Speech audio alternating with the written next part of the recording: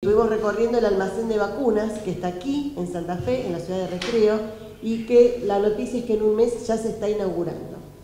Y este centro, este almacén de vacunas que funciona en Recreo, no solamente va a dar trabajo a más de 10 personas, sino que va a ser la unidad logística donde vamos a recepcionar y donde vamos a poder redistribuir las vacunas. Miren qué importante hubiera sido tener esto en los periodos que nos tocó transitar.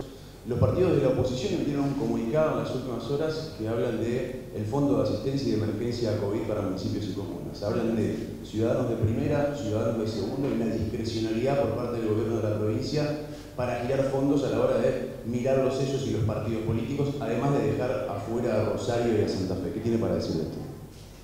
Los eh, fondos COVID, nosotros los fondos que nosotros repartimos desde salud son a los SAMCO lo que va a los SAMCO es totalmente equitativo y te digo cómo es. No es un fondo fijo, sino que todos los SAMCO de la provincia, independientemente de dónde estén, envían todos los gastos que tienen. Este es un gran cambio. Antes tenían un fondo y, punto. Hoy mandan todos, los, gastos que tienen y todo esto es, financiado desde el Ministerio de Salud y Economía.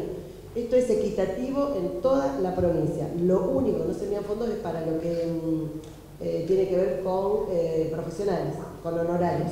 Eso se gestionan por, eh, por cargos, digamos, se pide el cargo, se piden contratos, se piden contratos COVID.